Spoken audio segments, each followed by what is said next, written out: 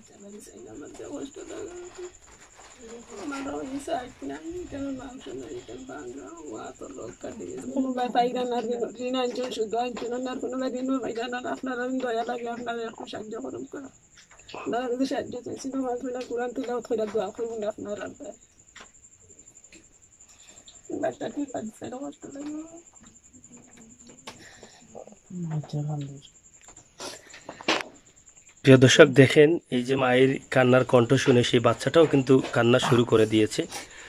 যে মাসুম বাচ্চাটা এই মুহূর্তে খেলাধুলা করবে, বাবার সাথে দৌড়াবে, দোকানে যাবে।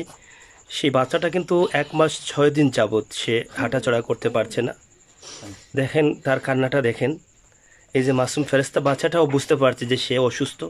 হয়তো বা এক মাসে সে বুঝতে শিখেছে যে আমি তো অসুস্থ হয়ে পড়েছি, আমি হাঁটতে পারছি না, কথা বলতে পারছি না। দেখেন এই মাসুম বাচ্চার দিকে তাকিয়ে হলেও আল্লাহর ওয়াস্তে আপনাদের সাহায্যের হাতটুকু বাড়িয়ে দেন। আমি আশা করব আপনাদের সাহায্যটুকু আপনারা এই বাচ্চার বাবার সাথে কথা বলে পাঠিয়ে দিবেন আর আল্লাহ তালা আপনাদের সাহায্য কবল করবেন। যদিও এই পরিবারের সাথে আমরা কথা বলছি, কিন্তু পরিবারটি আসলে পরিবারের সদস্য যারা আছেন, তারা হয়তো কথা কখনো ক্যামেরায় বলেন নাই আর হঠাৎ করে এখানেও কথা বলতে পারছেন না। কিন্তু তাদের ভিতরের যে কষ্টটা আছে, সেটা হয়তো আমি ক্যামেরায় আসার আগে তাদের কাছ থেকে শুনেছি। তারা ক্যামেরায় আসার আগে কিন্তু অনেক কান্নাকাটি করেছেন, কিন্তু ক্যামেরার সামনে তারা কেন যেন পাষাণের মতো হয়ে গেছেন বুঝতে পারছি না। আসলে এটা হয়তো অনেকটা তাদের ভয় ঢুকে গেছে ভিতরে যে ক্যামেরার মধ্যে কি বলবেন তারা। তো আমি আশা করব আপনাদের সহযোগিতা এবং ভালোবাসা আপনারা এই পরিবারকে একটু দেখাবেন। যারা আছে, কম তোমার কষ্ট হয়নি বাবা? কষ্ট হয়নি তোমার? হ্যাঁ? কষ্ট হয়নি তোমার? তোমার পাওয়া খাও যায়নি? হ্যাঁ? খাও। বাবা খাও যায়নি পাও তুমি দোয়া দোয়াই খাইতাই দোয়াই? সুস্থ হইতাই? হুম? খাও বাবা মুখ দিয়ে খাও সুস্থ হইতাই তুমি? আসসালামু আলাইকুম। আমার স্টুডেন্টে যে বাচ্চা মাসুম বাচ্চা ও ও শান্তি করে আমারে আপনারা মাসুম বাচ্চার দিকে চাইয়া আমারে সাহায্য দোয়া আমি নামাজ পড়িয়া দোয়া করব আর আমি লাভ শুদ্ধ টাকা আর ঋণ করি আনি আমি চিকিৎসা করলাম। আর আমার করার মতো অসিয়ত নাই। আমার যে এটা কথা কয় না যে দেয়ালের লগে ফিট লাগি গেলে যাইবার আর জায়গা নাই। ও সুরত আমার গেছে মাসুম বাচ্চার দিকে চাইয়া, আর এই যে মহিলার মহিলার যে মাংসটা গেছে মাংস সরাসরি দেখলে সরাসরি দেখলে যে কেউরু ভালো লাগতো না সবর কষ্ট লাগবো। সরাসরি তো কেউ দেখতে পারে না, আমরা দেখলাম, আমরা নিজে আছি, স্বয়ং আমরা দেখলাম। আপনারা দেখা, আপনারা দিছে, আমার যদি থাকতো তো অবশ্যই আপনারা গেছে। ঋণ ঋণ পাইলাম না, ঋণ পাইলাম না করে আমি চার মাসের লাগি মানে আগর মাসত দিতাম, চার মাসের লাগি ত্রিশ হাজার টাকা আনছি আট হাজার টাকা লাভ দিতাম বইয়া। এখন আমি লাভও আর ঋণ পাইলাম না। আমি আর লাভও যাইতাম কিলা কামও করতাম পারলাম না, লাভ দিতাম কিলা, ঋণ মারতাম কিলা আর আমি খাইতাম কিলা। আপনারা দুঃখ আমারে, আপনারা আল্লাহ দিবা। এখন তারার চিকিৎসা আমি করাইতাম কিলা, আমি তারারে তুইয়া কামও যাইতাম পারি না, আর এখন তারার চিকিৎসা করতাম কিলা আর খাইতামও কিলা।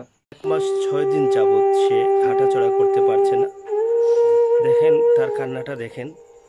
এই যে মাসুম ফেরেস্তা বাচ্চাটাও বুঝতে পারছে যে সে অসুস্থ। হয়তো এক মাসে সে বুঝতে শিখেছে যে আমি তো অসুস্থ হয়ে পড়েছি, আমি হাঁটতে পারছি না, কথা বলতে পারছি না। দেখেন, এই মাসুম বাচ্চার দিকে তাকিয়ে হলেও আল্লাহর ওয়াস্তে আপনাদের সাহায্যের হাতটুকু বাড়িয়ে দেন। আমি আশা করব আপনাদের সাহায্যটুকু আপনারা এই বাচ্চার বাবার সাথে কথা বলে পাঠিয়ে দিবেন আর আল্লাহ তালা আপনাদের সাহায্য কবল করবেন।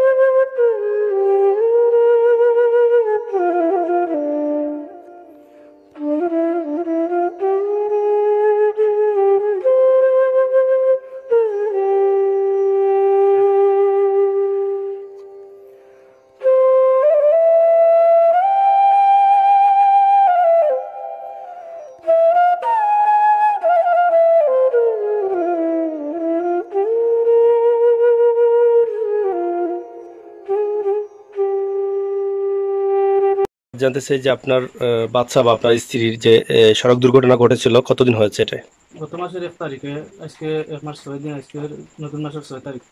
মানে এক মাস ছয় দিন হয়ে গেছে। আচ্ছা আচ্ছা।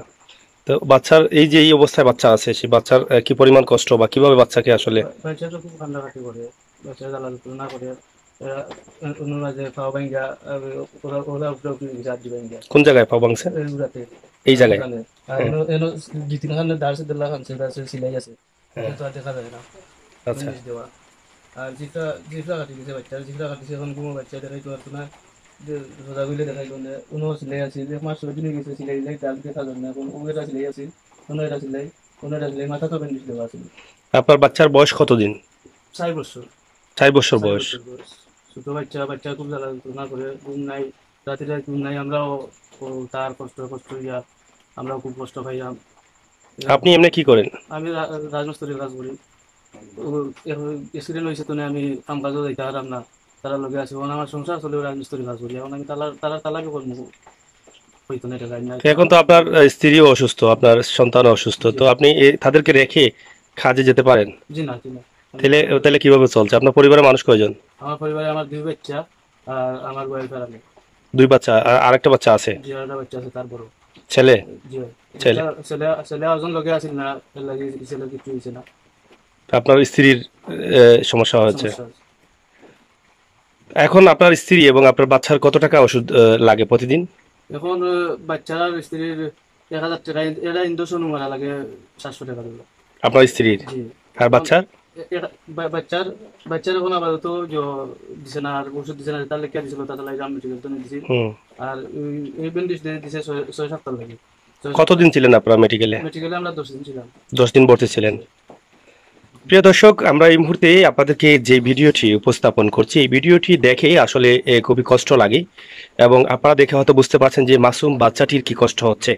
এটি একটি সড়ক দুর্ঘটনা ঘটেছিল সিএনজি আপনারা জানেন যে বেপরোয়াভাবে কিছু সিএনজি চালক আছেন সিলেটি, যারা ইচ্ছে মতো নিয়ম কারণ না জেনে কিন্তু তারা গাড়ি চালাচ্ছেন অনেকের ড্রাইভিং লাইসেন্সও নেই। আর সেই কারণে কিন্তু দুর্ঘটনা ঘটছে। এখানে আপনারা হয়তো জানেন বা চিনবেন, সিলেট সুনামগঞ্জ সড়কের দনফুর নামক স্থানে সরাসরি দুটি সিএনজি সংঘর্ষ হয় এবং সেই সংঘর্ষে এই যে ভাইটি বসা আছেন, ওনার স্ত্রী এবং এই মাসুম বাচ্চাটি দুর্ঘটনার শিকার হন এবং সেখানেই মারাত্মকভাবে তারা আহত হয়েছিলেন। পরবর্তীতে Sylhet M A G Osmani medical college হাসপাতালে নেওয়া হয়েছিল তাদেরকে এবং সেখানে দীর্ঘ দশ দিন চিকিৎসা নিয়ে তারা দুজনই কিন্তু এখন বাড়িতেই পঙ্গের মতো পড়ে আছেন। এখানে আমরা দেখলাম এক্স রে আছে এখানে। এক্স রেতে দেখা গেছে যে বাচ্চার যে পাটি আছে, পায়ের হাড্ডি ভেঙে একটার উপরে আরেকটি উঠে গেছে এবং এই যে ভেন্ডিস দেখেই আপনারা বুঝতে পারছেন যে কি পরিমাণ কষ্ট আছে বাচ্চাটি এবং কীভাবে তার পাটি ভাঙা পড়েছে বা শরীরের বিভিন্ন জায়গায় আঘাত রয়েছে এবং সেখানে সিলাই রয়েছে এবং মুখের যে জিব্বাটা আছে সেই জিব্বাটা অনেকটা কাটা পড়েছে বলে দাবি করছেন এই বাচ্চার বাবা।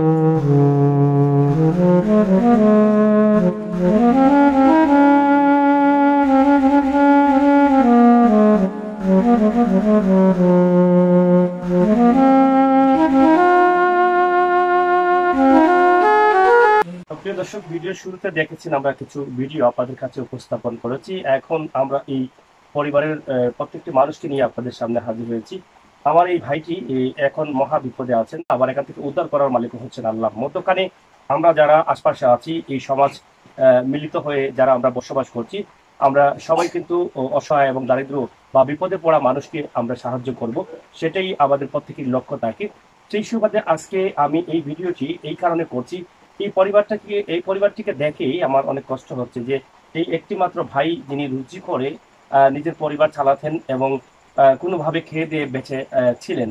কিন্তু হঠাৎ করে একটি দুর্ঘটনার শিকার হয়ে ওনার স্ত্রী এবং সন্তান দুজনেই কিন্তু মারাত্মক আহত হয়েছেন এবং সেই আহত অবস্থায় সিলেটে মেজর উসমানী মেডিকেলে চিকিৎসা নিয়েছেন এবং এখনও কিন্তু চিকিৎসাধীন অবস্থায় আছেন বাড়িতে এবং এই যে ভনটি দেখছেন, এই দুটি বাচ্চার মা এবং বাবা এখানে আছেন। এই বোনটি এখন, এখনও কিন্তু হাঁটাচলা করতে পারেন না, কারণ ওনার পায়ে ভাঙা ছিল এবং পায়ের একটি সাইডের যে মাংস আছে, সেই মাংস সম্পূর্ণভাবে চলে গেছে এবং সেখান থেকে মাংস শূন্য বললেই চলে। তো আমরা তাদের কাছ থেকে কথা বলব যে আসলে এই মুহূর্তে তাদের কি অবস্থা রয়েছে এবং বর্তমানে কত টাকা প্রতিদিন চিকিৎসার জন্য প্রয়োজন হয়? আমরা আপনার কাছে জানতে চাই যে আপনার স্ত্রীর সমস্যা কি কি ছিল? স্ত্রীর সমস্যা এবারে এই আঙ্গুলের আঘাত হলে রাত পর্যন্ত ইনো- মাংস নাই পাওয়ার আঙ্গুলের আঘাত হয়েছে এলো আটক গিলা লেগে গেছে বা- আর্থিক সমস্যা। এখানে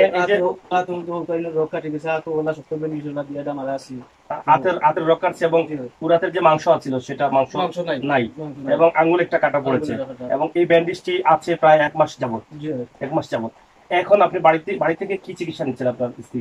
বাড়িতে এই যে গে- গ্রামীয় ডাক্তারের কাছ থেকে ড্রেসিং করানি ইঞ্জেকশন মারানি ঔষধ যাবতীয় যা আছে। ড্রেসিং প্রতিদিন করাতে হয়? জি প্রতিদিন করাতে হবে কত টাকা যায় ড্রেসিং করতে? ড্রেসিং করানি সহ ঔষধ ওষুধ লাগে দুই আড়াই হাজার লাগবে প্রতিদিন? প্রতিদিন। এই ওষুধ ড্রেসিং দুই আড়াই হাজার টাকা এতদিন থেকে আপনি এটা কীভাবে মেনটেন করছেন? এবং যে গাড়িতে অ্যাক্সিডেন্ট করছিলেন সেই গাড়ি থেকে সেই গাড়ির মালিকের পক্ষ থেকে কি কোনো সহযোগিতা পেয়েছে জি না গাড়ির মালিকের পক্ষ থেকে কোনো সহযোগিতা পাই নাই আমি। গাড়ির মালিক একদিন দেখা করতে গেছিল উনি কইছে যে আমি পাঁচশো টাকা দিয়া করে ওগুলো রাখতাম আমি ওগুলো রাখছি না। পাঁচশো টাকা পাঁচশো টাকা দিয়ে। মানে এত বড় দুর্ঘটনার পর কোথায় গিয়েছিল? আপনার বাড়িতে?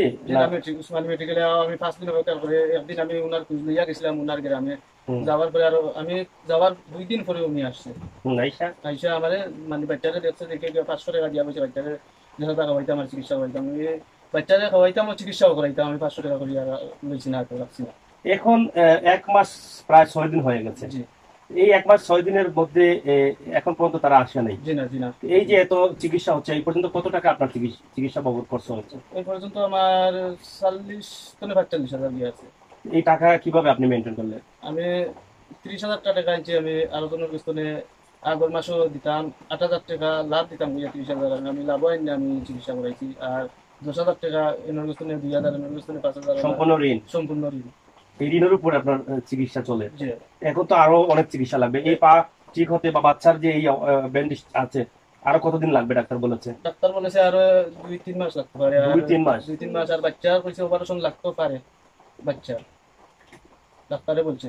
প্রিয় দর্শক আমরা যেখানে আছি সিলেট সদর উপজেলা আট নং কান্দিগাঁও ইউনিয়নের বলাউরা গ্রামে। এবং বলাউরা গ্রামের এই ভাইটি খুবই অসহায় এবং খেটে খাওয়া দিনমজুর মানুষ। তিনি এখন যে অবস্থায় আছেন সেটা তো আপনারা শুনলেনই। এই মুহূর্তে আপনার, আমার, আমাদের সকলের নৈতিক দায়িত্ব হয়ে গেছে ওনার পাশে দাঁড়ানো। তবে একটি বিষয় আমি বুঝতে পারছি না যে গাড়িতে অ্যাক্সিডেন্ট হয়েছেন বা যে গাড়িতে ছিলেন এই বোন এবং ওনার ছেলে, সেই গাড়ির মালিক এখনও কেন তাদের সাথে কোনো ধরনের যোগাযোগ করে নাই? মানুষ হিসাবেও তো তাকে সহযোগিতা করতে পারে, সেটা এমনিতেই একটি নৈতিক দায়িত্ব হয়ে যায়। কিন্তু তার গাড়িতে দুর্ঘটনার শিকার হবার পরও কিন্তু কেন এই পরিবারকে কোনোভাবেই সাহায্য করছেন না, সেটা আসলে আমি বুঝতে পারছি। তো প্রিয় দর্শক, এই মুহূর্তে আমাদের ক্যামেরার সামনে তারা এসেছেন, শুধুমাত্র এই চিকিৎসার জন্য কিছু সাহায্য চাইবেন এই জন্য। দেখেন এই বাচ্চা মাসুম বাচ্চার দিকে একটিবার তাকান। এই বাচ্চার দিকে তাকালে আমার খলিজায় আঘাত লাগে। কারণ আপনারও বাচ্চা আছে আমারও বাচ্চা আছে অনেকে আমাদের বাচ্চা আছে অনেকে আমরা বাবা মা হয়েছি। কিন্তু বাচ্চার শরীরে যদি ফুলের আঘাত লাগে তাহলে অনেক কষ্ট লাগে। কিন্তু এই আহ, যিনি দিনমজুর সেই বাবা এখন পর্যন্ত বাচ্চার চিকিৎসা করাচ্ছেন স্ত্রীর চিকিৎসা করাচ্ছেন, সম্পূর্ণভাবে লাভের টাকা বা ঋণ করে। তো কতদিন এভাবে চলবে এবং কতদিন কি এই- তাদেরকে ওষুধ খাওয়াতে পারবেন? এবং ওনার পায়ে যে আঘাতটা আছে, সেটা একটি মারাত্মক আঘাত রয়েছে এবং বাচ্চার পায়েও কিন্তু মারাত্মক আঘাত। তাদের যে ব্যান্ডিশ রয়েছে, সেই ব্যান্ডিশটি যদি সম্পূর্ণভাবে ক্লিয়ার হয়ে না আসে তাহলে ডাক্তার বলেছে সেটা অপারেশন লাগতে পারে। অপারেশন করলেও কিন্তু প্রচুর টাকার প্রয়োজন। প্রিয় দর্শক, আমরা কি পারি না? সবাই মিলে আমার এই ভাইটিকে বা এই বোনকে সাহায্য করতে। এই বোনটি দেখেন একদম অসহায়ের মতো বসে আছে। এখানে অনেকক্ষণ থেকে বসে আছে এবং এই দুটি মাসুম বাচ্চার দিকে তাকিয়ে যদি আমরা এই বোনটিকে সাহায্য করি এবং এই বোনটিকে সুস্থ করার লক্ষ্যে আমরা কাজ করি, সাহায্য সহযোগিতা করি, তাহলে হয়তো এই বোনটি দোয়া করবে এবং এই সাহায্যটি নিঃসন্দেহে আল্লাহ তালার দরবারে কবুল হবে। আমরা সমাজের অনেক মানুষ আছি। যাদেরকে আল্লাহ তালা তফিক দিয়েছেন সাহায্য করার। আমরা আসুন না, আমরা প্রত্যেকে মিলে কিন্তু কিছু কিছু করে সাহায্য করি। সাহায্য করলে এই ভাইটি যে ঋণ সেই ঋণটিও কিন্তু মারতে পারবেন এবং ওনার স্ত্রীর চিকিৎসাও চলবে। এখন আপনার যে এই চিকিৎসা বাবদ আরও কত টাকার প্রয়োজন বা কত টাকা লাগবে বলে আপনি মনে করছেন?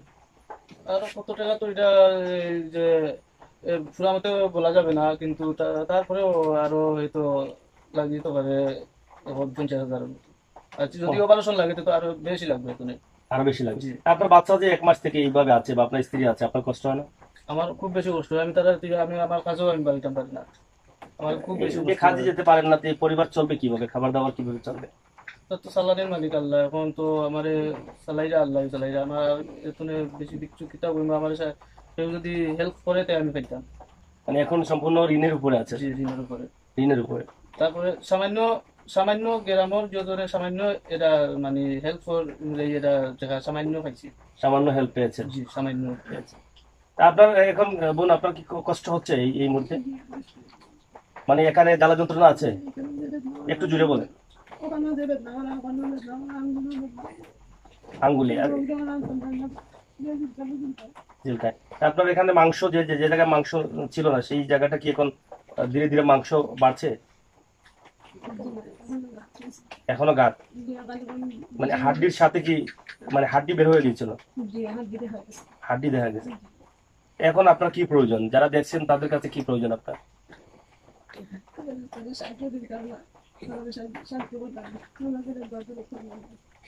সাহায্যের প্রয়োজন।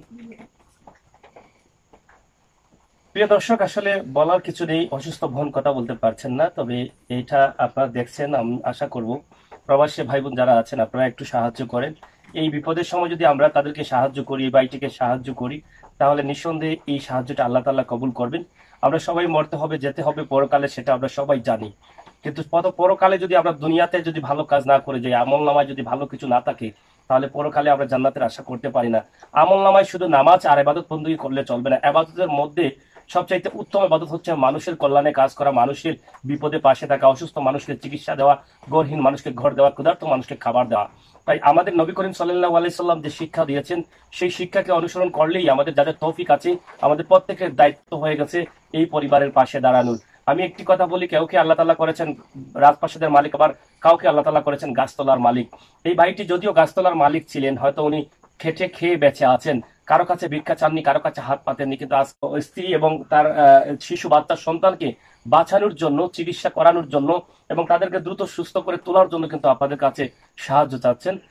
গ্রামের মানুষ কথাও বলতে পারছেন না ঠিক মতো তাই আমি যে যতটুকু পারছি আপনাদের কাছে উপস্থাপন করার চেষ্টা করছি। আমরা বিশেষ করে আমার প্রবাসী অনেক ভাই বোনেরা আছেন। যারা সাহায্য করেন এবং সাহায্য করতে চান। আপনারা হয়তো অনেক সময় অনেক সাহায্য করেছেন আপনাদের আত্মীয় স্বজনের মাধ্যমে, কিন্তু সেই সাহায্যটা আপনাদের সঠিক জায়গা মতো পৌঁছায় নাই, যার ফলে আপনারা প্রতারিত হচ্ছেন।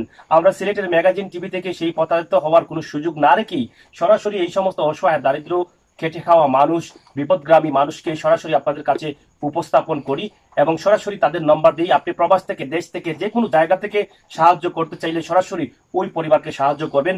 আমার কথার ভাইরে যদি আপনাদের আরও বোঝার থাকে জানার থাকে জেনে শুনে তাদের সাথে কথা বলে ফোনে যে নাম্বারটি ভিডিও স্ক্রিনে আছে আপনার সাহায্যটি আপনারা হস্তান্তর করবেন। সেই প্রত্যাশা সেই দাবি আমরা আপনাদের কাছে রাখতে পারি। এখন আপনার একটি নাম্বার বলেন আপনার মোবাইল নাম্বার আমার mobile number zero one seven two five zero one seven two five double seven four two double seven four two seven nine seven nine আপনার নাম? আনোয়ার আলী। আপনার একটা বিকাশ আছে? জি বিকাশ আছে। বিকাশ আছে। তো দেখেন এই ভাইটি আসলে বাচ্চাকে নিয়ে সারা রাত ভোর জেগে থাকতে হয়। বাচ্চাটি কিছুক্ষণ আগে ঘুমিয়েছিল আপনারা হয়তো ক্যামেরা দেখতে পাচ্ছেন না যে বাচ্চার এই যে ব্যান্ডেজটা আছে প্রায় এক মাস যাবত তার ভিতরে হয়তো বা বাতাস প্রবেশ করতে না পারার কারণে অনেক যন্ত্রণা হচ্ছে। সে হাত ঢুকানোর চেষ্টা করছে ভিতরে। কতটুকু কষ্টে আছে এই মাসুম বাচ্চাটি? একটিবার তাকান। এই মাসুম বাচ্চাটি আজকে কত বড় বিপদে আছে? এই বাচ্চার মুখের দিকে একটিবার তাকান এবং একটিবার আপনার বাচ্চার দিকে তাকান। আমি বিশ্বাস করি, যদি এই বাচ্চার দিকে তাকিয়ে আপনি সাহায্য করেন, আপনার বাচ্চা কাচ্চা যারা আছে আপনাদের যাদের আওলাদ দিয়েছেন আল্লাহ তালা তাদেরকে নিঃসন্দেহে আল্লাহ তালা ভালো রাখবেন বিপদ থেকে বাঁচিয়ে রাখবেন। আমরা সকলেই যদি কিছু কিছু করে সাহায্য করি, প্রবাসী আমার অনেক বোনেরা আছেন অনেক ভাইয়েরা আছেন, অনেক সংস্থা আছে। আপনারা চাইলে কোনো না কোনো পরিবার থেকে বা কোনো না কোনো সংস্থা থেকে একসাথে পঞ্চাশ হাজার, এক লক্ষ টাকা এই মুহূর্তে এই ভাই বোনকে দিতে পারেন। আর আপনার টাকা দ্বারা যদি তারা সুস্থ হয়, তাহলে নিঃসন্দেহে এই মানুষগুলো যতগুলো এবাদত করবে, প্রত্যেকটি এবাদতের সব আপনার আমল নামায় চলে যাবে। মানুষের পাশে ঠিক তখনই আপনি দাঁড়াবেন, যখন মানুষ অসহায় পড়ে, যখন মানুষের পিঠ দেয়ালে টেকে যায়। মমিন মুসলমান হিসাবে মানুষ মানুষের জন্য আমরা তাদের পাশে এগিয়ে যেতে হবে। তখন যদি আমাদের চোখে দেখার পরে, কানে শোনার পরে আমাদের তফিক থাকা অবস্থায়ও আমরা যদি এই সমস্ত মানুষের কাছে না যাই, তার জন্য কিন্তু পরকালে জবাবদিহি করতে হবে। আর ভাই, আপনার আমার অনেকেরই ব্যাংকে অনেক টাকা রাখা আছে, কিন্তু আপনার টাকা দেখেন কাজে লাগতেছে না। কিন্তু এই সমস্ত অসহায় ভাই বোনেরা কিন্তু তাদের চিকিৎসার জন্য টাকা পাচ্ছে না। কতটুকু যন্ত্রণায় আছে এই বোন? মানসিক ভাবে কতটুকু চাপে আছে তার পরিবার পরিজন নিয়ে? কতটুকু মানসিক চাপে আছে এই ভাইটি? এই মানসিক চাপ থেকেই যদি একটি মানুষকে সুস্থভাবে ফিরিয়ে নিয়ে আসা যায়, আপনার, আমার, আমাদের সকলের সহযোগিতায় সেটাও কিন্তু একটি সবের খাত, সেটাও কিন্তু একটি আমল নামা আমরা আশা করব এই আমল নামা থেকে আমরা ফিরে যাব না। আমাদের নবী করিম সাল্লাহ আলাইসাল্লাম যার উন্মত হিসাবে আমরা এই পৃথিবীতে আগমন করেছি ওনার যে নির্দেশ রয়েছে, সেই নির্দেশের মধ্যেই কিন্তু রয়েছে এই সমস্ত মানুষের পাশে দাঁড়ানো। তাই আমরা সেই নির্দেশকে ফলো করে আমরা এখানে এসেছি। আপনারা আপনাদের নিজ নিজ জায়গা থেকে দেশ এবং বিদেশ থেকে, যাদেরকে আল্লাহ তালা তৌফিক দিয়েছেন, তাদের হক এবং দায়িত্ব তাদের পাশে দাঁড়ানো। আপনারা প্রবাস থেকে অনেক ভাইয়েরা অনেক কষ্ট করে রুজি করেন। আপনার কষ্টের রুজির টাকার একটি অংশ এই পরিবারকে দেবেন। সেটা হয়তো এখন ফলাফল না পেলেও সেটা পরকালে ফলাফল পাবেন। একটি বার আপনি নিয়ত করেন যে এই সমস্ত অসহায় মানুষকে আপনি সাহায্য করবেন। একটি বার আপনি দিয়ে দেখেন আপনার মনের ভিতরে কত সান্ত্বনা পাওয়া যায়, কত শান্তি মিলে। আপনি যখন একজন অসহায়, দারিদ্র, এই সমস্ত অসহায় মানুষের পাশে দাঁড়াবেন, আপনার কষ্টের এক হাজার টাকা, পাঁচ হাজার টাকা, পঞ্চাশ হাজার টাকা, আপনি একটি বার দিবেন এই পরিবারকে। আপনি একটি বার দিয়ে আপনি রাতে ঘুমাতে যান, দেখবেন আপনার নিঃশ্বাসটা কত শান্তিতে আসে। আপনি নিজে নিজে ভাববেন যে আমি পৃথিবীতে হয়তো এই একটি ভালো কাজ করলাম। এই সমস্ত কাজ যখন করবেন, দেখবেন আপনার ব্যবসা, বাণিজ্য, প্রত্যেকটি কাজে আল্লাহ তালার রহমত পড়বে। আর সেখান থেকে আপনি ধীরে ধীরে আরও উন্নতির দিকে এগিয়ে যাবেন এবং ধীরে ধীরে আপনার মনটা আরও বড় হবে। তখন আপনি নিজেও কিন্তু এই সমস্ত পরিবারকে খুঁজে বেড়াবেন সাহায্য সহযোগিতা করার জন্য। তাই যারা দিচ্ছেন, তাদের কাছে আমি চিরকৃতজ্ঞ। আল্লাহ তালা আপনাদের এই সাহায্যকে কবুল করবেন এবং করার জন্য আমি যত ওয়াক্ত নামাজ পড়ি সবসময় আপনাদের জন্য স্পেশাল ভাবে আমি দোয়াটি করে থাকি যে, আল্লাহ, আমি গুণাগারের ডাকে যে মানুষগুলো, অসহায় মানুষকে সাহায্য করছে, সেই মানুষগুলোর নিয়ত এবং সাহায্যকে কবুল করো, তারা যেন আরও বেশি বেশি করে সাহায্য করতে পারে। আপনি যখন একটিবার দেওয়া শুরু করবেন নতুন হিসাবে, আপনি দেওয়ার পরে বুঝতে পারবেন যে সাহায্যটা কেন করেছেন, কি কারণে করেছেন, আর এই সাহায্যটা কি হবে আর কি হচ্ছে। দুনিয়াতেও এর ফলাফল পাবেন এবং আখেরাতে এর ফলাফল আপনার জন্য আমি বিশ্বাস করি যে স্পেশাল হিসেবে থাকতে পারে এবং থাকবে। তাই আসুন, আমরা আর দেরি না করে যত দ্রুত সম্ভব এখানে ফোন নম্বরে ফোন দিয়ে এই অসহায় ভাই এবং বোনের খবরটি জেনে নিই এবং আমাদের তৌফিক অনুযায়ী আমরা আজ থেকেই সাহায্য দেওয়া শুরু করি এবং নিয়ত করি এবং আল্লাহকে বলি যে, আল্লাহ, আমাকে তুমি তৌফিক দাও। আমি যেন এই সমস্ত অসহায় মানুষকে সব সময় সাহায্য করতে পারি। আমাদেরকে হালাল রুজি করার তৌফিক দাও এবং হারাম থেকে বাঁচিয়ে রাখো। অসহায় মানুষের পাশে, অসহায় মানুষের কল্যাণে যেন সব সময় মমিন মুসলমান হিসাবে কাজ করতে পারি। ওয়াক্ত যেন আমরা নামাজ আদায় করতে পারি। আমরা যেন ভালো আমল করতে পারি। প্রিয় দর্শক এই ছিল আমাদের ভিডিও আমরা আবারও বলছি